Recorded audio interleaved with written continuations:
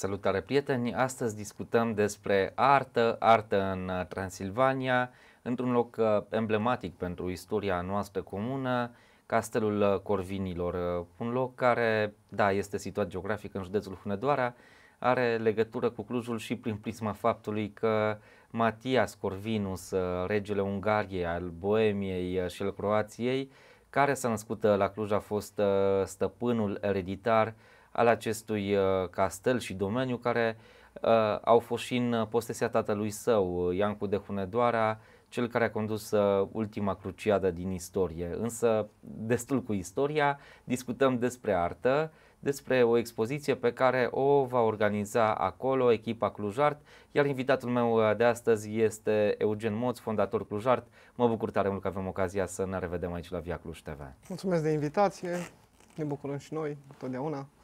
Când anume va avea loc această expoziție la Castelul Corvinilor? Am pregătit, expozi- de fapt două expoziții am pregătit. Prima expoziție este o expoziție colectivă care începe pe data de 1 septembrie, va fi vernisată în 2 septembrie și uh, va fi păstrat acolo până în data de 15 septembrie, iar din 15 septembrie uh, schimbăm expoziția și uh, ducem o expoziție uh, personală a doamnei Vera Dan, care am spus uh, să fie o expoziție itinerantă.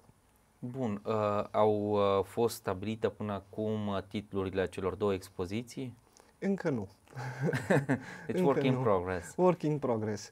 Uh, pentru uh, prima expoziție colectivă avem două variante, încă ne mai gândim la ele. Uh, oricum uh, este deschis uh, apelul pentru artiști până în data de 18 august. Uh, artiștii se pot înscrie uh, în prima fază de, să spunem așa, de preselecție, iar uh, apoi uh, în 20 august uh, vor fi anunțați cei care vor participa efectiv la, la expoziție. Locurile sunt limitate, am zis că ar fi oportun să mergem doar cu 40 de lucrări sau undeva în jurul acestei cifre. Unde anume se pot înscrie cei care doresc să participe la această expoziție Prin, colectivă? Da, printr-un simplu e-mail pe adresa clujart.gmail.com subject expoziție Castelul Corvinilor și uh, noi revenim cu un reply cu toate informațiile de care au nevoie.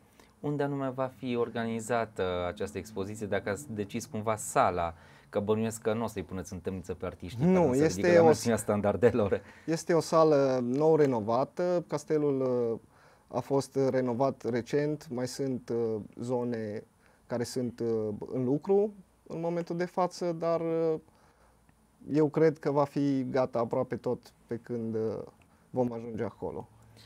Este vorba de o expoziție doar de pictură sau pot să participe și autori de lucrări din domeniul ceramicii, sticlei, uh, sculptură mică. Expoziția este deschisă pentru toți artiștii, acceptăm și sculptură și ceramică, uh, fotografie, chiar am primit un, uh, un e-mail de la un fotograf dacă poate participa, deci este deschisă tuturor.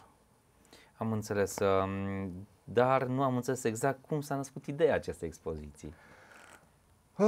De mult ne doream să, să facem o expoziție acolo dar sincer să fiu, nu am avut timp. Am, uh, suntem într-o perioadă în care uh, suntem foarte, foarte prinși, avem multe expoziții în uh, curs de derulare și în uh, care urmează să, să fie puse uh, pe simeze. Uh, spre exemplu, în uh, 3 august uh, mergem la satul mare să strângem expoziția de acolo, trio, uh, Triada Clujană, unde am uh, mers cu trei uh, artiști uh, clujeni. De la satul mare, din trei în patru, vernisăm la Timișoara, pentru că este capitală europeană și merită să expunem și acolo.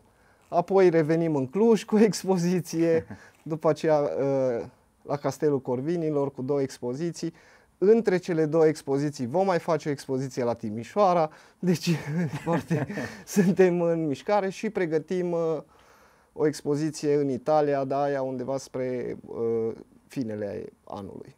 Am înțeles. Uh, o altă curiozitate legată de um, această expoziție, dacă va avea vreo tematică, de exemplu, legată de istorie. Nu am zis că nu impunem o tematică, uh, lăsăm la liber, dar uh, toate lucrările vor fi uh, supuse unei comisii, să spun așa, de trei uh, experți, colaboratori de-ai noștri, ca să reușim să îmbinăm să toate lucrările să fie ceva frumos, să iasă un tot unitar și să încercăm uh, cumva să facem totuși o tematică. Adică chiar dacă nu este o tematică, uh, în final puzzle-ul lucrărilor, pentru că toată lumea știe, cel mai greu este să panotezi când lucrările nu au o temă anume.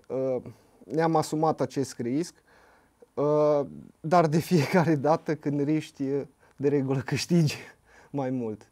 Am înțeles. Mulțumesc uh, tare mult pentru participare la această emisiune. Vă ținem pumnii să aveți parte de o expoziție foarte ah, bună, sunt sigur, da.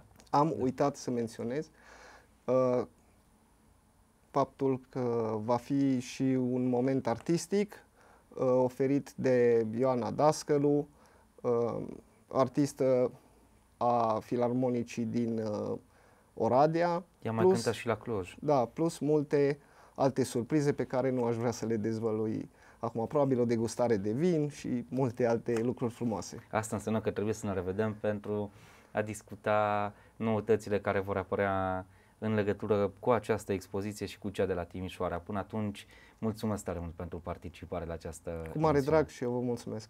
Prieten, vă mulțumesc și vouă. Ne vedem pe net.